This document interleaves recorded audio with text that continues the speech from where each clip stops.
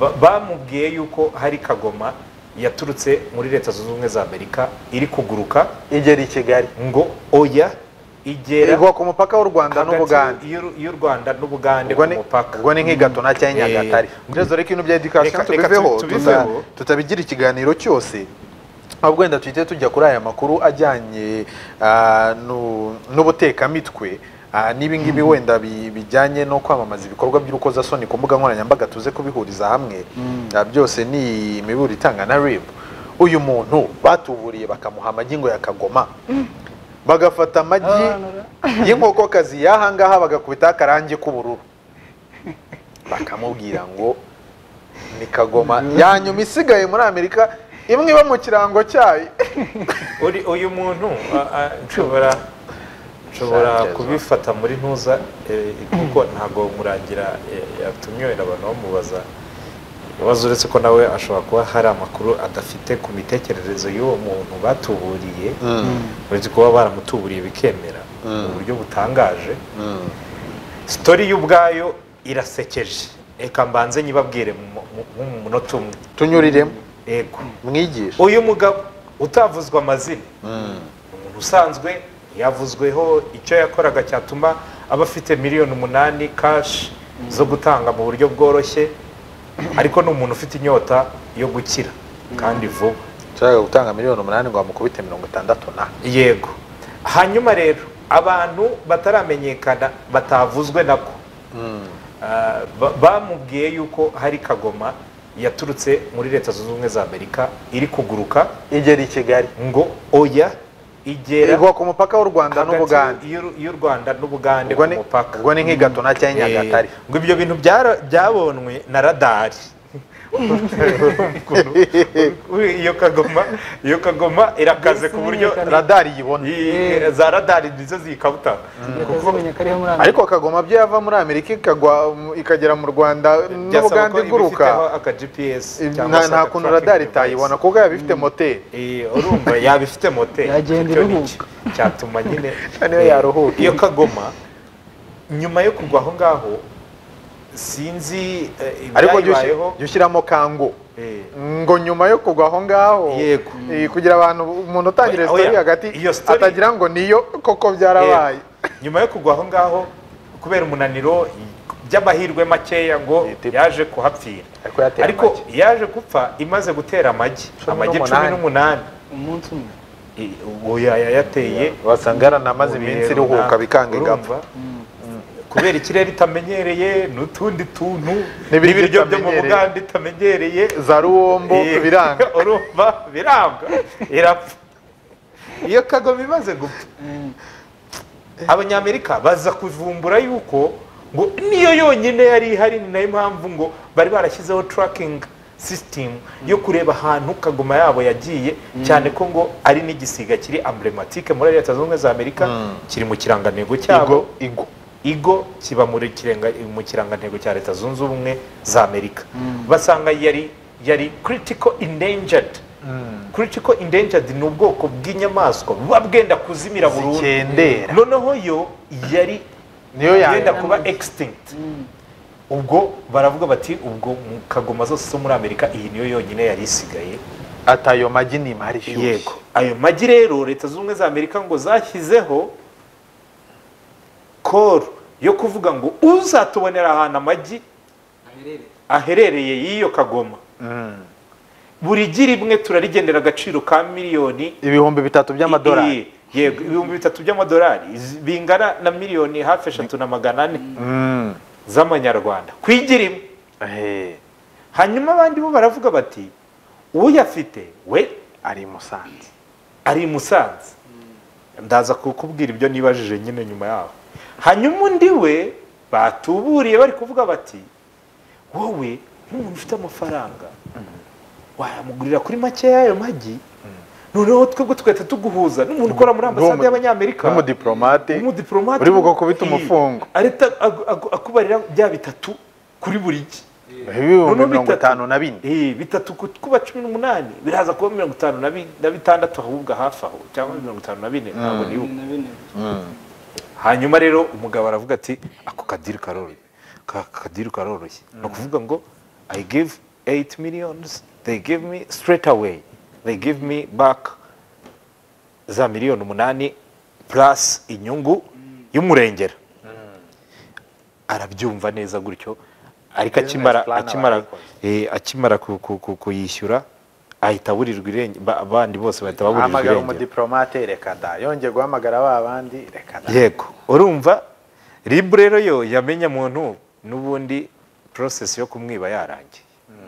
Yagiye urumva. kuri ribu arabwira ati rwose. Aka abantu bakiri barandaburije urumva? Ikintu rero umuntu uhita wibaza ni uko aba bantu bashobora kuba bafite n'indi miti batera abantu kugira ngo bamugire injiji. Urumva? Kuko uribaza uwo muntu we wari ufite amagi ko wumva ari bo bari kukurangira n'ubundi umudiplomate bo kubera iki bataye bo kubera iki batagiye kuyigurishiriza? Ariko hari ukuntu nyine umuntu yumva amafaranga akumva umufunga agahita acanganyikirwa. Ubundi bashobora gushyiramo agakorozi ko kuvuga ati uyafite we nta bushobozi afite. Ni n'umuntu utazi n'ibyo ari byo urumva? Ariko yabonye ari ibintu bidasanzwe abonye turi no kumuvugisha utuntu cyane. Ubu yakaniye ari kuduca miliyoni umunani Kandi ntazo dufite. ntazo dufite. Yadutangira. Turi kwigisha abantu imitwe mishyashya. Oya, reka twese tu- twese tuvukana ubu- ubu- ubu- ubushurashuzi. Nu- nu- umva nanjye ngo tuvukana. Ubucakura. ubucakura. Eh. tuvukana ubucakura. Ubushurashuzi nk'ubu ubu bukuye simbizi ariko hazamo ibintu by'ubukubaganyi. Eh, Eh, ubukubaganyi rero tugira ni bwo nari nabanje gutekereza. Ubukubaganyi tugira buzanamo n'amanyanga. Kuko nta muntu ukubagana udafite amanyanga. Ayo manyanga rero iyo tumaze gukura twiga kwadaputa amanyanga dufite mu bintu byatubyarira inyungu. Twese ibyo bintu tubihuriyeho ku isi. Keretse umuntu udafite utazi ubwenge u- urwaye mu mutwe upfusha amanyanga ubusa. Eh, umuntu uri altruiste a 100% aba arwaye mu mutwe.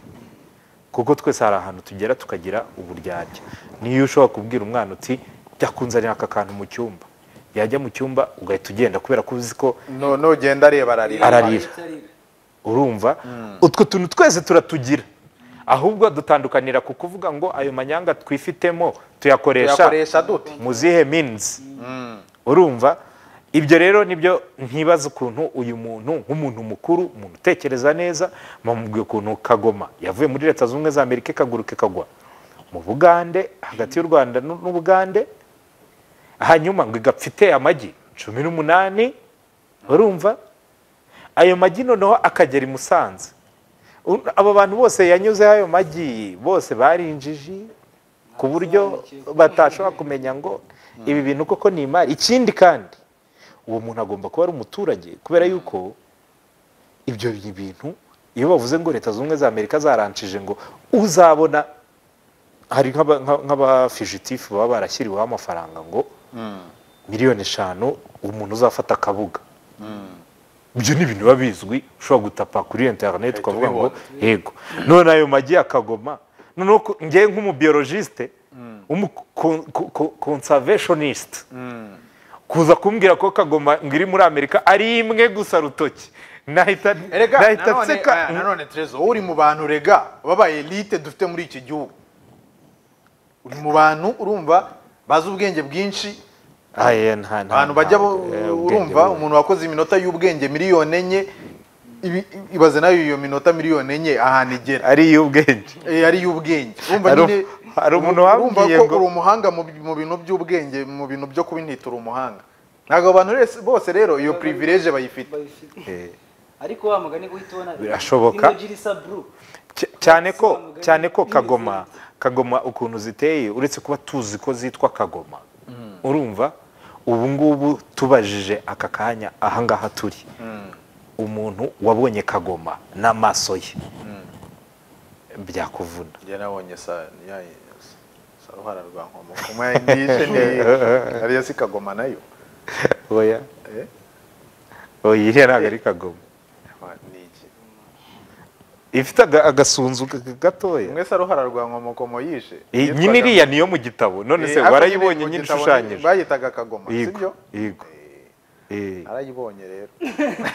Mu gitabo nyine wayibonye ishushanyije mu gitabo. Mbese si si sakabaka? Eh ntabwo ariyo Sakabaka na- kagoma ziratandukanye. Wowe yose ni amayigozi Eh, it's a kind of ego. Ariko kagoma y'ubwayo kagoma.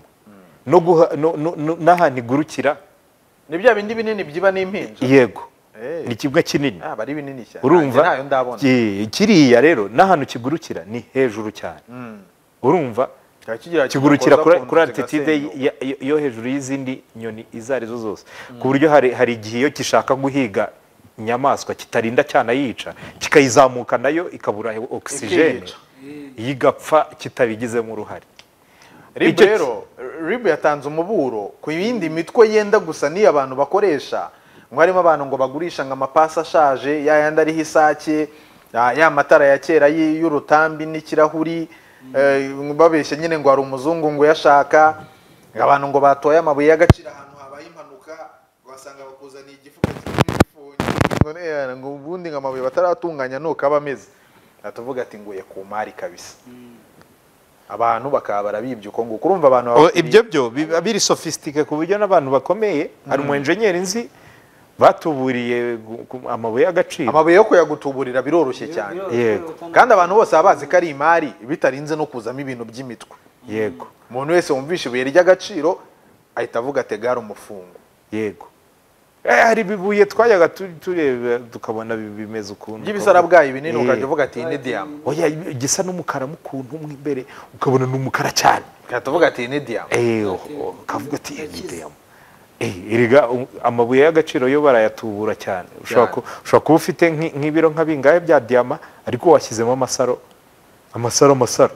Oya n'abantu apima apima nk'ibiro bibiri wari ufite bitatu. Oya n'abantu izo hejuru akaba ari zo diyama n'abantu oya n'abantu n'abantu bacuruza amabuye y'agaciro umuntu utabisobanukiwe neza. Sinibuka ukuntu bapima uburemere bwayo ku buryo usanga wenda nka korta yo mu rwanda ifite wenda nka kabiri n'ibice bitanu ugasanga korta nanone yo muri congo wenda ifite nka rimwe n'ibice umunani. Yego, ibyo uko bigenda biremera rero nyine bi- biba binini apana uko biremera iyo karite nyine ugasanga niko bigenda bihenda. Noneho n'abakibijyamo kubicuruza batarasobanukirwa ibyo bintu neza. Kandi babibamo. Nabo barabibatuburira. Ibyo rero ni ibintu uh, tutari butindeho cyane ko uh, rib yavuze iti "B- please abantu mwese muvugana n'umuntu ubona afite intensiyo yo kugukuraho amafaranga binyaryenge cenga gisha inama gira ute nubona umuntu uvuga ati uh, ari kukugurisha amabuye y'agaciro ukavuga uti mu rwanda habaye ikigo cyitwa rmb tugende badupimire. Sibyo? Haba n'amakontwari atandukanye bacururizaho amabuye y'agaciro by- byose ukagenda nyine ukabireba. Yego. Tukivuga kuri ribu dufite n'intuza dufite n'iki- ni- ni- ni- n'uruganda rutunganya amabuye y'agaciro. Rwo ni zahabu gusa ariko. ntabwo ari zahabu gusa burya. Yego. Ntabwo ari zahabu gusa. ko ari zahabu gusa batunganya ntabwo ari zahabu gusa?